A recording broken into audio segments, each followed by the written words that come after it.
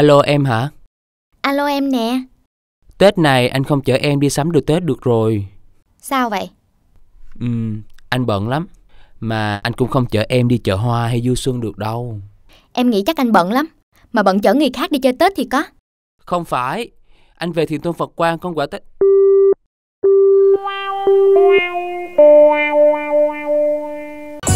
Xuân an vui, yêu làm sao những cành tươi, cho đời thêm những tiếng cười.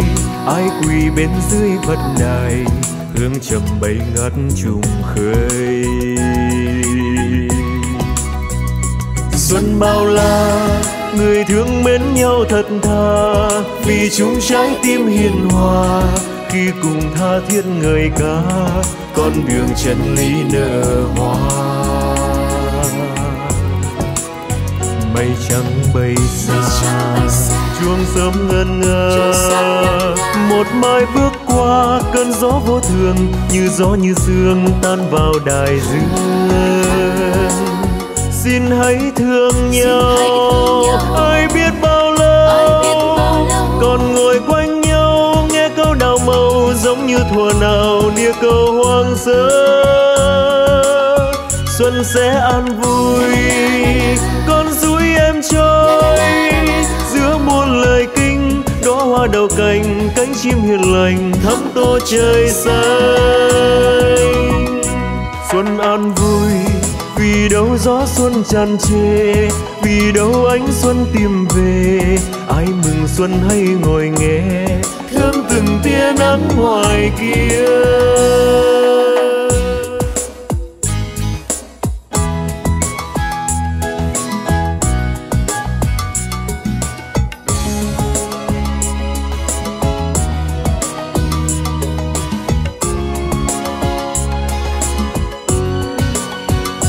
Xuân yêu thương, êm đềm trên những ruộng nương có đàn chim én bay lượn, mai vàng khoe sắc phố phường.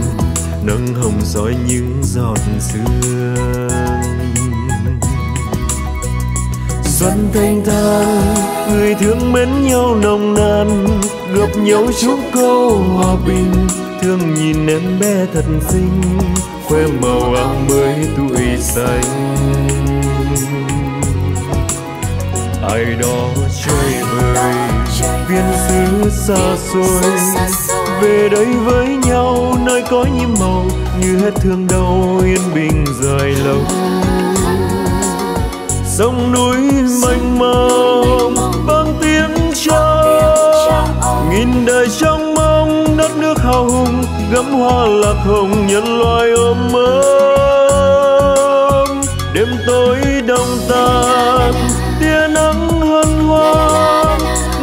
hoa đẹp tươi, mến yêu cuộc đời, ánh dương vời vời, ước mơ nào vơi xuân ăn vui, ngày mai hát xuân thật dài, vì tấm áo nao miệt mài, cho người vượt thoát trần này xin cùng tay nắm bàn tay. Xuân ăn vui, ngày mai hát xuân thật dài, vì tấm áo nao miệt mài cho người vượt thoát trần ai xin cùng tay nắm bàn tay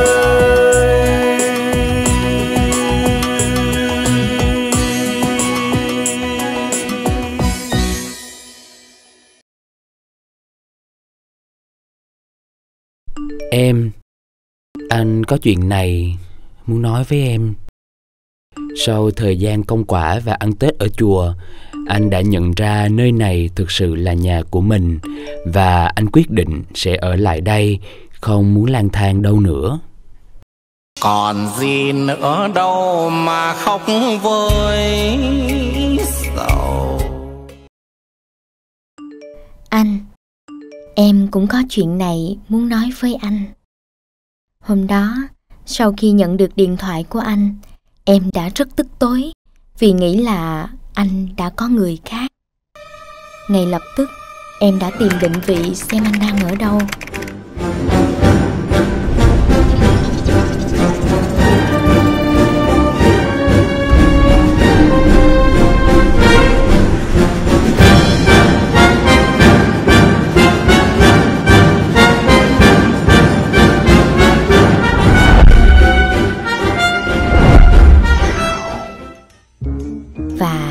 Đã đến chùa Thiền Tôn Phật Quang để theo dõi anh.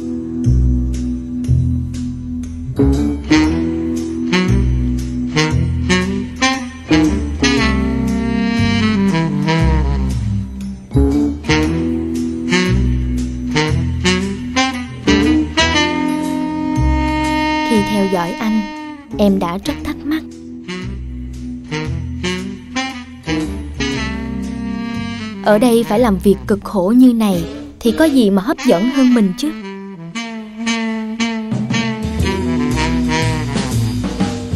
Và ngay sau đó, em đã có câu trả lời.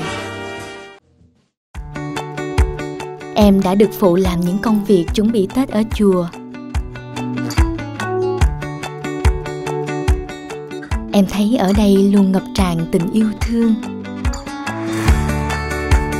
sự sẻ chia.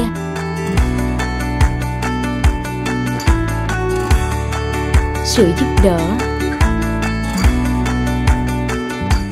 Và điều làm em thấy ngạc nhiên nhất là năng lượng cống hiến của mọi người ở đây luôn ngập tràn.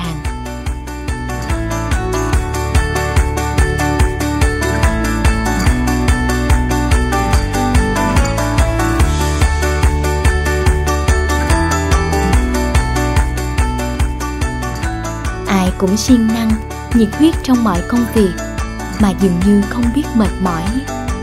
Nụ cười lúc nào cũng luôn nở trên môi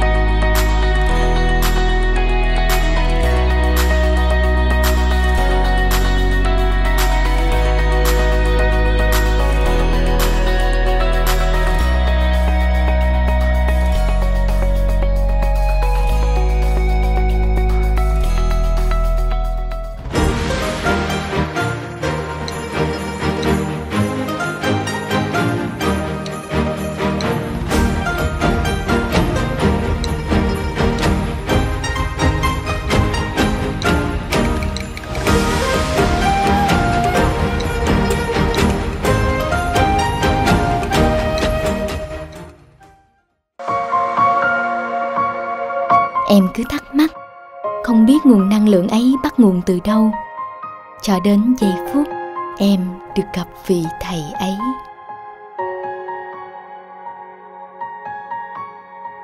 Ở nơi vị thầy ấy toát ra một sức hút kỳ lạ, vị thầy ấy xuất hiện ở đâu là nơi đó ngay lập tức được tình yêu thương và sự an vui bao phủ. Em cũng như bị hút vào nguồn năng lượng đặc biệt ấy. Và vì vậy em đã quyết định ở lại chùa ăn Tết. khi ở lại đây em mới biết đó là khởi nguồn cho một quyết định trọng đại trong cuộc đời mình qua 6 ngày hưởng trọn vẹn cái Tết đầm ấm ở đây, được nghe những bài đạo lý do vị thầy ấy giảng. Em đã thực sự muốn gọi vị thầy ấy bằng hai từ hết sức thân thương và ấm áp, như mọi người ở đây vẫn gọi sư phụ.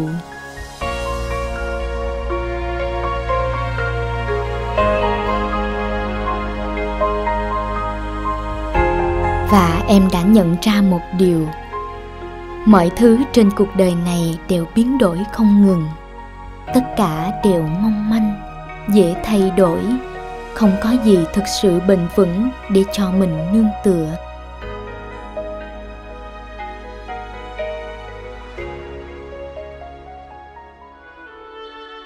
Nhưng ai trong chúng ta cũng đều cố bám phiếu vào những thứ tưởng chừng mang đến cho mình hạnh phúc.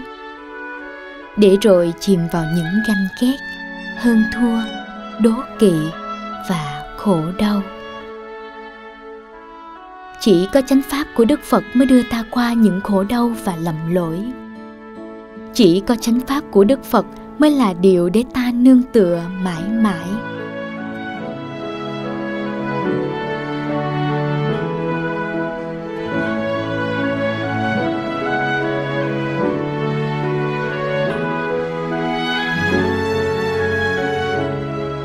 Khi em vừa nhận ra điều đó, thì cũng vừa đúng lúc anh nhắn tin tới để báo cho em hay về quyết định trọng đại trong cuộc đời anh.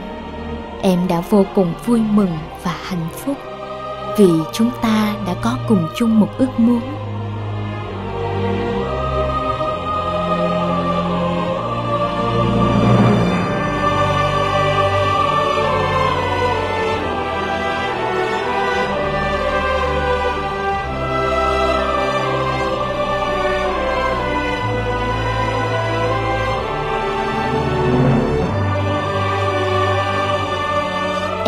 Về chung một nhà với anh.